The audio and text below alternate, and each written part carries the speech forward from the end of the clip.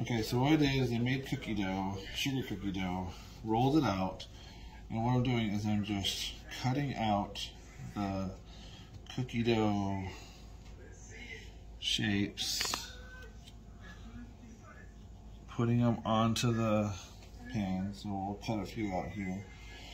I'm doing stars, this one, the other, the uh, first tray that I did was Christmas trees. These ones are staying in the mold a little bit too much. They're sticking in there a little bit. You always think you have enough flour, but then your cookies are like, psych, you don't. Then you don't want too much, so you don't want your sugar cookies to taste like flour. You don't want to taste like sugar cookies. So we're putting them over here.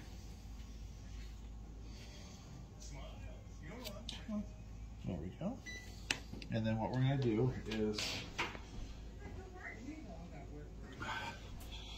I bought this premium quality uh, spice. It's a sugar from Starlight Herb and Spice Company.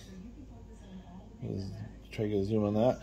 And with this lemon sugar, I thought this should be a really good uh, alternative to like tons of frosting and stuff. So what we're doing with some of the sugar cookies is we're just going to take some of the sugar and we're going to sprinkle it on the cookies before they go in the oven.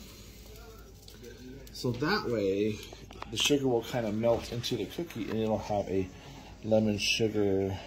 And if you notice, these um, these sugar crystals are larger than normal. It's that tamarind uh, sugar, that, that raw sugar stuff that they give you at that one coffee shop with a green logo that I'm not going to mention. But um, so we're going to see if this gives it a nice crunchy. The goal we're looking for is that lemon sugar flavor because I tasted the sugar. It's really good. And then two, we're looking for a crunchy exterior. So we're going to see if we can get that from our cookies. Alright guys, that's it for this cookie minute. Okay, this is how they came out of the oven.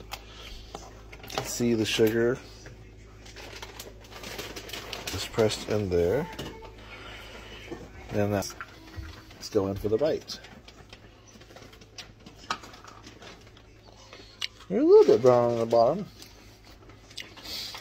Did you have that crunch? You do get that lemon sugar